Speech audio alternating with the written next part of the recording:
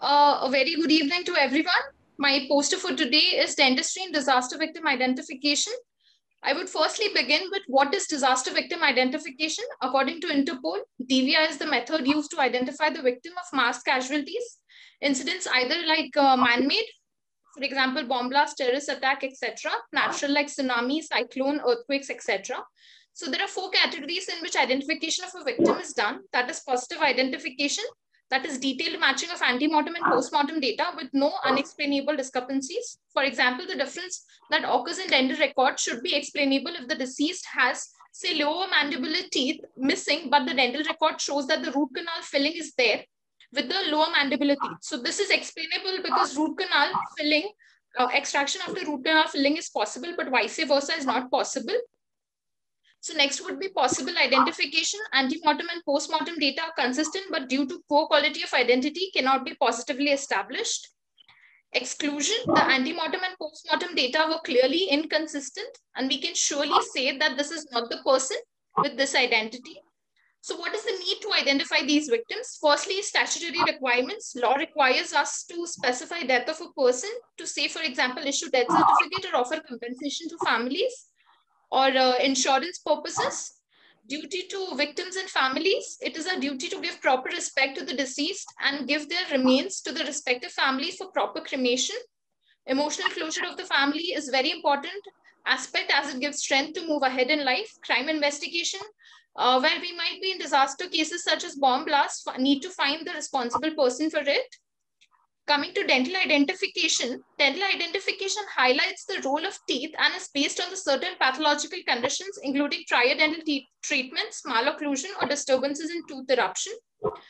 Need for dental identification, as yesterday was also mentioned by Dr. Hemlata Pandey ma'am in her lecture, are primary identifiers such as visual identification where it's not possible or where we need to find the decomposed remains, skeletonized remains or charred remains or where multiple bodies are found in like mass grave situations to assure correct sorting.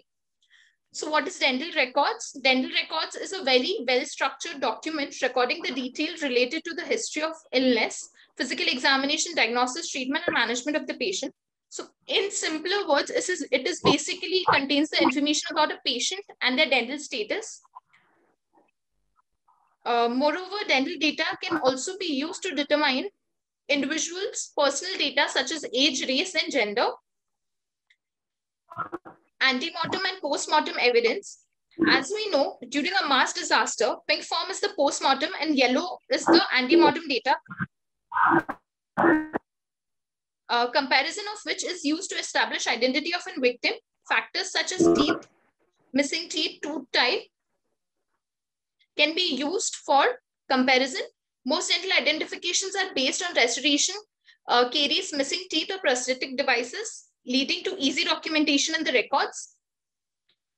Uh, individual with loss of all teeth can also be potentially identified based on the anatomy of the jaw bone, dentures with various shapes, sizes, manufacturers, compositions. Dental anomalies like missing teeth and supernumerary teeth are present. Extra cusp can also form basis for identification of an individual.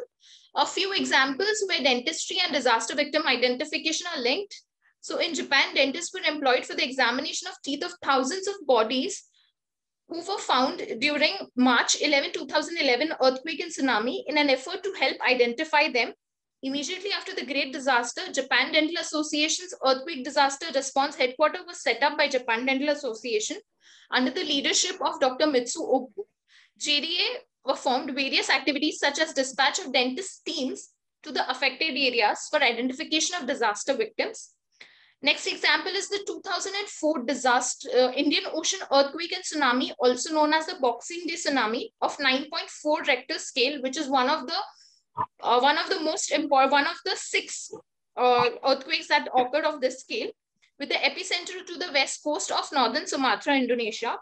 In this situation, 61% of victims of this tsunami disaster were identified via dental examination.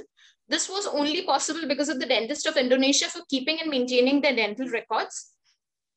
So apart from identification, dentists can be a great help in mass disaster situations. Dental clinics can be set up as triage areas during mass disasters.